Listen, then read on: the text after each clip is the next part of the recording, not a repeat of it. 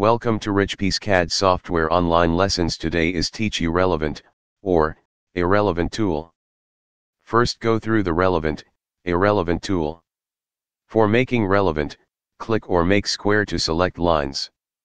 Then right click in the free space, adjust one point of line with modify tool. Other point of line move accordingly. For making irrelevant, click or make square to select line. Then right click in the free space, adjust one point of line with modify tool. Other point of line do not move accordingly. Thanks for watching today's video see you tomorrow.